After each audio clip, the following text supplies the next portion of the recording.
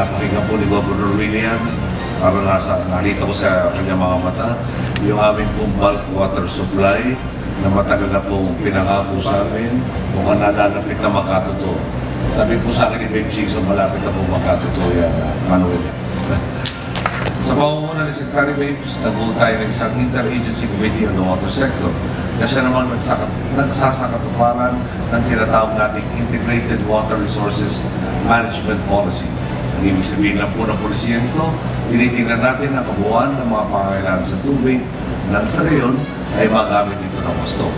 Ngayon din, dahil natin po na ang iba't ibang ahensya na iwasan ng papatak-patak o patsik-patsik inisiatiba, sa halip na ipapatupad na ang nakakaisang, hindi po, nakakaisang layunin para sa sektor. Naging matagumpay ang pag inspeksyon sa proyektong magpapatibay sa Angat Dam sa North Sagaray, Bulacan noong ikadalawamput-dalawa ng Hulyo sa panguna ni Pangulong Benigno Aquino III at ng pamahalaang panlalawigan ng Bulacan sa panguna naman ni Governor Wilhelmino MC Alvarado at ng pinagsamang pagsisikap ng K-Water, Angat Hydropower Corporation at ng San Miguel Corporation na bagong may-ari at operator ng dam na may sa katuparan ng rehabilitasyon sa pakikipagtulungan na rin ng ilang ahensya ng pamahalaan kabilang ang Department of Energy, National Power Corporation at ng Metropolitan Waterworks and Sewerage System. Sa katunayan ay napalitan na mga hakbang na ginagawa sa Angat Dam sa mga dyaryo ng The Philippine Star, Manila Bulletin, Philippine Daily Inquirer, Business Mirror, Tempo at Balita. Dahil dito ay sinigurado ng ating Pangulong Benigno Aquino III na kakayanin ng struktura ng Angat Dam na nakatayo malapit sa West Valley fault line ang posibleng 7.2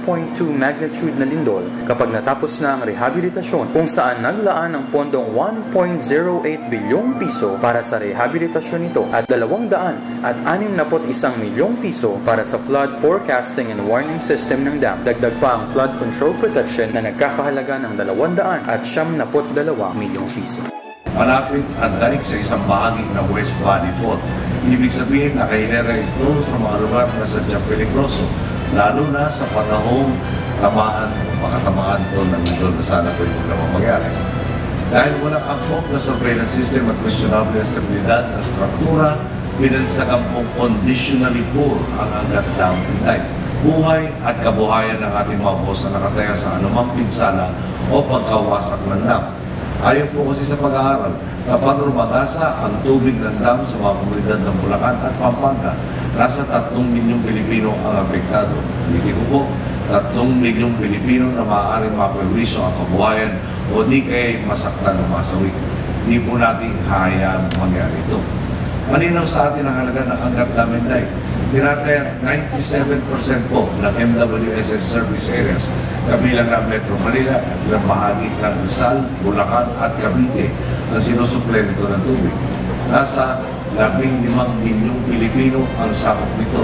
Sa irigasyon, halos 27,000 hektare ng palayan ang pinapatubigan nito sa Bulacan at Pampanga. Tubig, kuryente, kabuhayan at kaligtasan sa saklaw na serbisyo. Benepisyo ng dam ang henday sa milyong-milyong Pilipino. Talaga naman kung sulit na sulit ang bawat pisong ilalaan natin sa proyekto ito. Todo rehabilitasyon na po ang gagawin natin dito.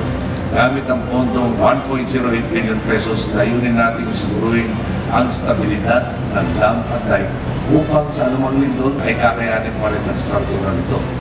Ayon naman kay K-Water President and Chief Executive Officer Choi Ye-won, ang planong pagpapatibay ng dam ay base sa Dam Assessment Study na isinigawa ng Poiri Energy Ltd na nakatutok sa pag-aaral sa pagbaha at struktural na kaligtasan nito. Ang planong ito ay naglalayong itaas ang impervious score ng main dam ng 1.2 meters na magpapatatag sa kabuuang struktura ng Angat Dam dahil ito din ang nagsusupply ng 77% ng tubig sa mga kabahayan sa Metro Manila at nagbibigay ng irigasyon sa halos 25,000 ektaryang bukurin sa Bulacan at Pampanga. Naging posible naman po ang araw na ito dahil sa pagkikisa at pagkakapit kamay ng iba't ibang organisasyon at ahensya. Nagpapasalamat po tayo sa DPWH sa pumupuno ng Secretary Babe Simpson, sa MWSS at kay Administrator Jerry Esquivel, sa probinsya ng Bulacan, sa pribadong sektor, sa Water at sa Sabigan Corporation, at sa iba pang mga kasamahan nating tungo sa katuparan ng proyekto ito. Muli, maraming salamat po sa inyo. Talagang napakahalagang pamanan ng inisyatibang ito sa marami nating kababayan. Hindi na ngayon, kundi maging sa susunod pang generasyon. Bahagi nga lang po ang rehabilitasyon ko ng Angat Dam ay dahil sa malawakan nating estratehiya para paunlarin ang sektor ng tubig. Kabilang din po rito ang Angat Water Utilization and Aqueduct Improvement Project Phase 2 na nakompleto na natin upang 2012 at sa buwan ahead of schedule. Ongoing naman ang bidding ng iba pa nating proyekto tulad ng Kaliwa Dam Sansal, yung Bulacan Bulk Water Supply Project, Manuili, at ang Angat Water Transmission Improvement Project. Samantala, ihinangaan naman ng Pangulo ang dedikasyon at pagiging positibo ni Governor Wilhelmino MC Alvarado sa paglalahad ng mga problema ng lalawigan na nag-udyok sa Pangulo na aksyonan ng mga proyektong magbibigay ginhawa sa mga Pilipino kabilang na ang Bulacan Bulk Water na kasalukuyang nasa proseso ng bidding. Pag-usapan po natin itong Angat Dam and Dike. 1960s pa ito na itayo. Halos kaedad ko na nga po. Mula noon, ni isang beses, hindi ito nakatikim ng malawak ng rehabilitasyon. Nakaligtaan mo yata ng anum, na anumang struktura, iniaayos ng pusa o titibay ng mag-isa. Ang buting gobernador natin ay napakasipag at maayos po kausap. Siya po ay nakangiti pag dinudulog ang mga problema, kaya magaan po kausapin at hindi po puro, puro galit, tampo at sama na ang hinaharap sa atin. Kaya salamat Gob, napapadali ang trabaho natin. It's already 47 year old uh, dam and the lifespan is uh, 50 years. So pagka sa bahay, kinakailangan talaga yung repair, maintenance.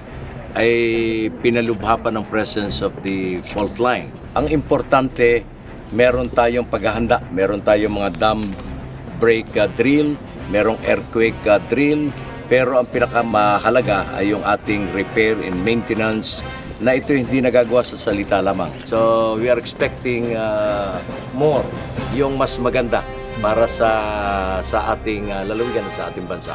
Kaya hindi na dapat mangamba dahil sa pagtutulungan ng national government and provincial government of Bulacan ay masusolusyonan ang mga problema.